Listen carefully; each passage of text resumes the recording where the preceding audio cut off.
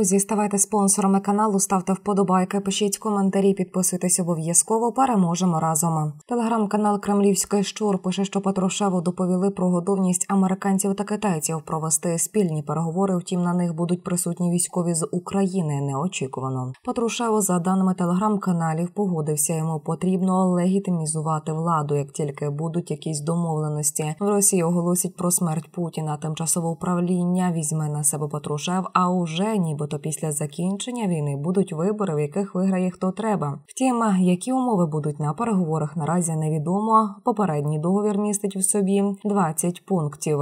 Сьогодні ж в США Сі повинен зустрітися з Байденом. Туди за даними телеграм-каналів вилетів і Патрушева неурядовим рейсом з пересадкою. Відслідкувати його переміщення тому неможливо. Втім, джерела знають, куди що і як. Мова може йти про проект мирного договору, адже перед цим з американцями зустрічався Єрмак. В той же час, поки українці запекло сперечалися щодо неоднозначної статті в журналі Time і доволі відвертого інтерв'ю та статті главкома у Валерія Залужного для The Economist. Про їхній зміст та Сан-Юа нагадає нижче в американських медіа з'явилося дещо ще суперечливіше. Телеграм NV News повідомляє, що вже місяць американські та європейські посадовці у діалозі з офіційним Києвом щодо початку можливих переговорів із Росією про припинення війни. Цю статтю ще більше підігріло інтерв'ю залужного The Economist, де журналісти винесли під заголовок фразу про війну, яка зайшла в глухий кут. Хоча головком ЗСУ мав на увазі саме рівень технологій, які поставили нас у глухий кут, тобто про паритет у технологіях між Україною та Росією. Саме цим прикриваються прихильники переговорів із Москвою, просуваючи популярний російський наратив, що Україні однаково ніколи не перемогти Росію на полі бою, тому треба сідати і домовлятися. Насправді це вже не перша така доволі відверта стаття головкома ЗСУ Валерія Залужного для західних медіа і не мають рацію ті, хто каже, що влада віддає перевагу переважно закордонним медіа, нехтуючи українським. Нагадаємо, що попередня стаття залужного для The Economist, яку також усі дуже жваво обговорювали, вийшла 15 грудня 2022